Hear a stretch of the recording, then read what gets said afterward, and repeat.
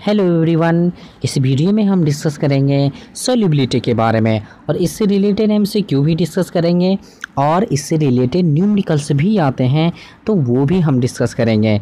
तो चलिए स्टार्ट करते हैं सोल्यूबिलिटी अब सोल्यूबिलिटी क्या है, उसको समझने के लिए मैं आपको एक एग्ज़ाम्पल से समझाऊँगा। मान लेते हैं कि एक गिलास पानी में हंड्रेड ग्राम वाटर है है ना? हंड्रेड ग्राम क्या है? वाटर है। और इस हंड्रेड ग्राम वाटर में इमेजिन करिए कि आपने एक चम्मच चीनी डाला तो ये पूरी तरह से घुल गया। आप दो चम्मच चीनी डालें, ये भी पूरी तरह से घुल गया।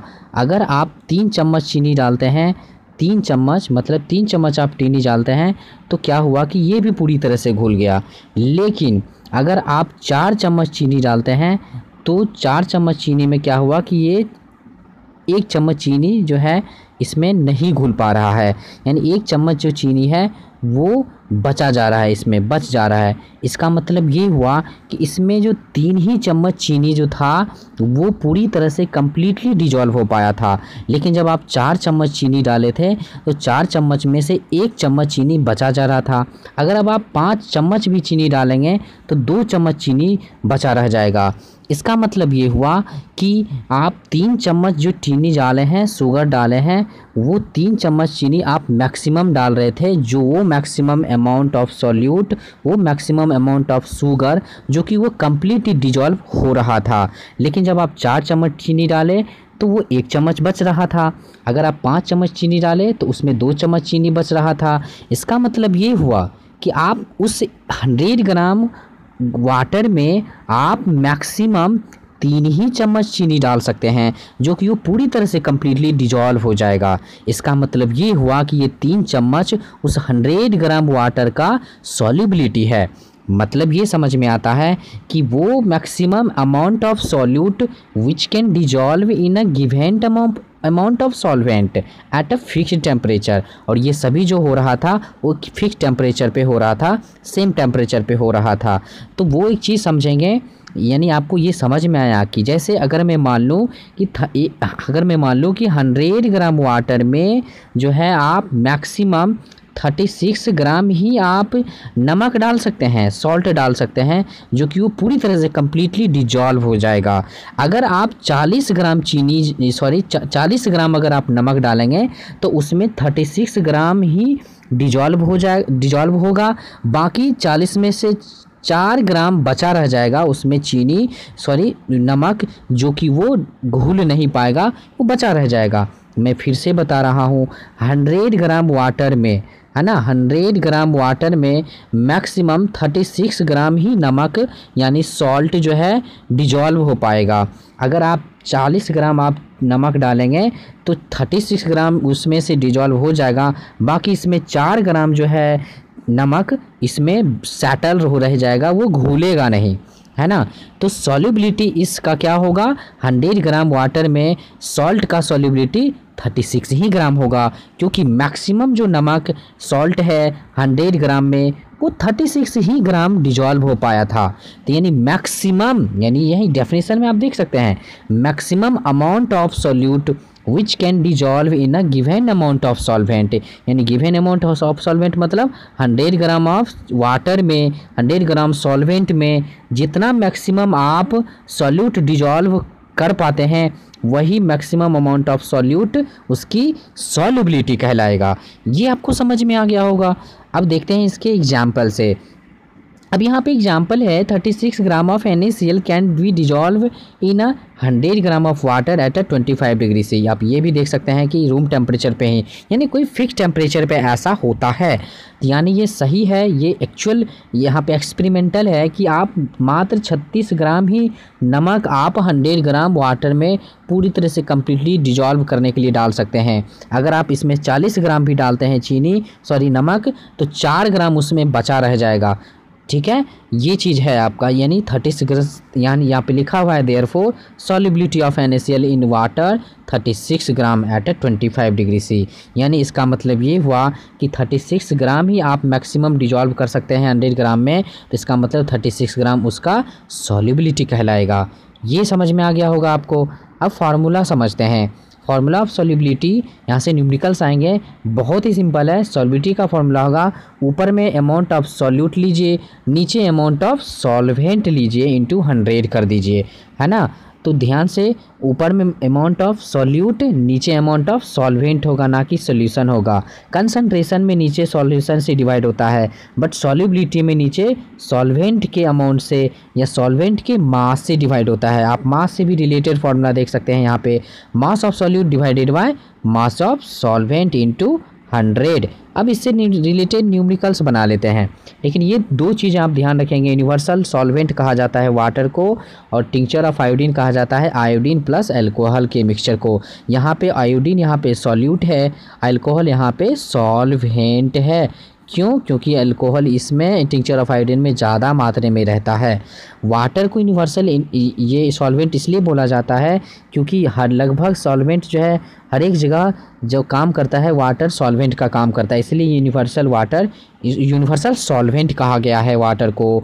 अब यहाँ पे देख लेते हैं न्यूमरिकल्स छोटा सा एक न्यूमरिकल्स है, जो भी वो डिस्कस कर लेते हैं। At 25 degree C temperature nine gram NaCl is dissolve 35 gram of N N three of saturated solution यानी कह रहा है ये कि एट ए रूम टेम्परेचर मतलब 25 डिग्री सी पे आप 9 ग्राम NaCl जो है डिजॉल्व कर रहे हैं किसकी सॉल्यूशन में? तो 35 ग्राम सॉल्यूशन थ्री के सॉल्यूशन में, है ना? तो यहाँ पे ध्यान से देखिए कि 35 ग्राम क्या दिया हुआ है? वो मा, ये मास ऑफ़ सोल्यूशन दिया हुआ है। मतलब N A N O three के सोल्यूशन का मास दिया है 35 यानी सोल्यूशन का मास हुआ ना 35 ग्राम। किसके सोल्यूशन का? तो N A N O three के सोल्यूशन का। उसमें से 9 ग्राम क्या है? एन ए सी एल है। है ना? उसी 35 ग्राम में से 9 ग्राम क्या है? एन ए सी एल है। तो बताइए इसमें मास ऑफ़ सॉल्वेंट कितना होगा? आपका मास ऑफ़ सोल्यूट यहाँ पे नाइन ग्राम है है ना? Mass of solution thirty five gram है। तो इसीलिए क्या हो जाएगा mass of solvent thirty five में से नाइन घटा लेंगे। क्यों? क्योंकि यहाँ पे सॉल्यूशन का फॉर्मूला होता है सॉल्वेंट सॉल्वेंट प्लस सॉल्यूट होता है। तो अभी आप बताइए कि सॉल्यूशन का मास थर्टी फाइव है इक्वल का साइन सॉल्वेंट को नहीं पता एक्स है प्लस सॉल्यूट दिया है नाइन ग्राम तो एक्स निकालेंगे तो नाइन इधर आके घट जाएगा। यानी ट्वेंटी सिक्स आपको निकल जाएगा। क्या? ट्वेंटी सिक्स ग्राम आपका निकल जाएगा। Mass of solvent mass of solvent क्यों निकाले? क्योंकि सॉल्युबिलिटी के फॉर्मूले में मास ऑफ़ सॉल्वेंट डिवाइड होता है और मास ऑफ़ सॉल्वेंट सॉल्यूट ऊपर रहता है। तो आप देख सकते हैं nine gram mass of solute था। नीचे मास ऑफ़ सॉल्वेंट डिवाइड करेंगे इंटू हंड्रेड कर लेंगे। आंसर आ जाएगा। अब ये इस तरह के न्यूमरिकल्स आपको पता चल गया होगा कि किस तरह के न्यूमरिकल्स पूछे जाते हैं। अभी, अब एमसीक्यू डिस्कस करते हैं। एमसीक्यू फ़र्स्ट एमसीक्यू देखिए। Solubility is the amount of solute dissolve in मतलब ये बोल रहा है कि solubility is the amount of solute dissolve in मतलब सॉल्यूबिलिटी है amount of solute dissolve in कितना? कितने ग्राम ऑफ़ वाटर सॉल्वेंट में मतलब सॉल्वेंट में? तो हंड्रेड ग्राम ऑफ़ सॉल्वेंट में मैक्सिमम अमाउंट ऑफ़ सॉल्यूट जो डिजॉल्व होगा, वही सॉल्युबिलिटी कहलाएगा। तो आई होप कि आपको समझ में आएगा सेकेंड नंबर आंसर होगा, hundred gram of solvent next question पे चलते हैं। NaCl is dissolved in water. The negative end of water molecules is attracted. मतलब ये बोला है कि जब आप NaCl जो है सॉल्ट आप किसी वाटर में मिलाते हैं वाटर का फॉर्मूला H2O होता है तो ये एक्चुअली में एन एक्वा सोल्यूशन के केस में आयोनाइज्ड होगा।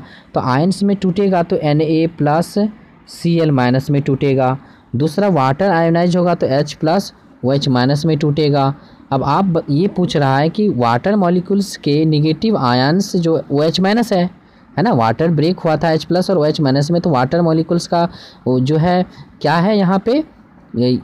सॉरी फॉर देट यहाँ पे क्या है? ओ एच माइनस है तो एन में एन ए प्लस था, है ना? तो एन ए प्लस था वाटर मोलिकुल्स में निगेटिव आयन्स माइनस था।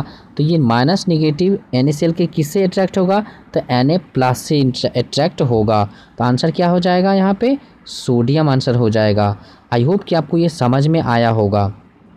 अब यहाँ पे देखते हैं next question the solubility of sodium sulphate is लगभग जितना भी सल्फेट का कंपाउंड होगा, उस वक्त सॉलिबिलिटी का एक्सेप्शन केस आ जाता है। ध्यान से सुनिए, यहाँ पे सोडियम सल्फेट का सॉलिबिलिटी टेम्परेचर बढ़ाने से टेम्परेचर बढ़ाने से सोडियम सल्फेट का सॉलिबिलिटी डिक्रीज हो जाएगा।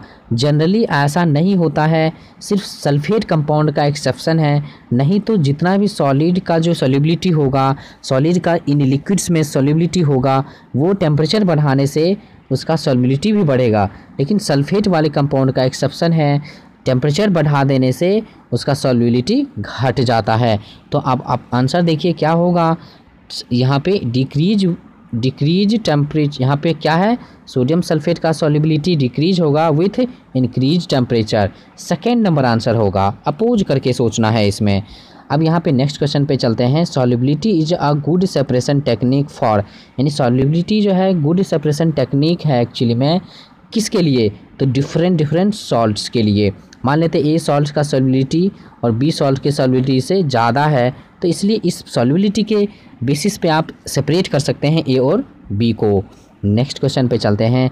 The solubility of gases in increases with the decreases of याद रख लीजिए गैसेज का सॉलिबिलिटी बढ़ेगा तब सॉरी जब गैसेज का सॉलिबिलिटी बढ़ेगा तब जब टेम्परेचर घटेगा। ध्यान से सुनिए टेम्परेचर और सॉलिबिलिटी में उल्टा डिफरेंस होता है गैसेज में, है ना? यानी सॉलिबिलिटी बढ़ेगा तो टेम्परेचर घटेगा। अगर आप टेम्परेचर बढ़ाएँगे तो सॉलिबिलिटी घटेगा। किसका? तो गैसेज का। अब यहाँ पे आंसर क्या हो जाएगा? यहाँ पे जब आपने क्या किया? सॉलिबिलिटी बढ़ाया तो टेम्परेचर क्या होगा? घट जाएगा। तो यहाँ पे आंसर क्या होता? डिक्रीजेज ऑफ़ टेम्परेचर अब नेक्स्ट क्वेश्चन पे चलते हैं। Solubility depends up on solubility किस किस बातों पे डिपेंड करता है? टेम्परेचर पे भी करता है। एक्चुअली में उस सोल्यूशन के सोल्यूट पे भी करता है और तो और सॉल्वेंट पे भी करता है कि सॉल्वेंट कितना है और कौन सा सॉल्वेंट है। तो इसलिए आंसर हो जाएगा all of these next question पे चलते हैं। Solubility of a solid in liquids increases with the increases of मतलब ये बोला है कि मान लेते हैं कि इसमें वाटर है पहले से, यानी लिक्विड है वाटर इसमें चीनी डाल रहे हैं शुगर डाल रहे हैं तो शुगर का सॉलिबिलिटी बढ़ेगा। एक्चुअली में शुगर ज़्यादा आप ऐड कर सकते हैं, यानी सॉलिबिलिटी उसका बढ़ेगा, यानी शुगर और ज़्यादा ऐड कर सकते हैं। कब? जब इस वाटर के टेम्परेचर को बढ़ाएँगे। यानी टेम्परेचर बढ़ाने से सॉलिड का लिक्विड में सॉलिबिलिटी भी बढ़ेगा। ये भी आपको ध्यान रखना है। तो आई होप कि आपको ये बेहतर समझ में आया होगा। लास्ट क्वेश्चन देखते हैं। The maximum amount of solute which can dissolve in hundred gram of solvent at a room temperature is called solubility मैंने अब भी बताया कि वो मैक्सिमम से मैक्सिमम अमाउंट जो हंड्रेड ग्राम ऑफ़ सॉल्वेंट में पूरी तरह से डिजॉल्व हो सकता है। यही maximum amount of solute solubility कहलाएगा। अब एक और क्वेश्चन शायद बच रहा है, वो भी डिस्कस कर लेते हैं। शायद ये लास्ट क्वेश्चन है। तो the solution which can hold no more solute is called यानी किसी सोल्यूशन में आप और ज़्यादा सॉल्यूट ऐड नहीं कर सकते हैं। यानी मान जैसे कि आपके हंड्रेड ग्राम वाटर में आप मैक्सिमम डिजॉल्व होने के लिए जो है जो है अभी अभी आपने देखा एन मात्र मैक्सिमम थर्टी सिक्स ही ग्राम डिजॉल्व कर सकते थे। लेकिन इससे ज़्यादा आप नहीं डाल सकते हैं। तो इसलिए ये ऐसा सॉल्यूशन जो बनेगा, वो सेचूरेटेड सॉल्यूशन कहलाता है। यानी जब और ज़्यादा आप नहीं ऐड कर सकते हैं मतलब मैक्सिमम आपने ऐड कर लिया सॉल्यूट को तो ये जो कंडीशन है सॉल्यूशन का सेचूरेटेड सॉल्यूशन का होता है। आई होप कि मैंने आपको बेहतर समझाया। अगर रियली में आपको समझ में आया है तो प्लीज़ मेरे वीडियो को सपोर्ट करें सब्सक्रिप्शन बढ़ाने में, और लाइक भी करें, और तो और कमेंट भी करें कि आपको वीडियो कैसा लगता है। Thank you so much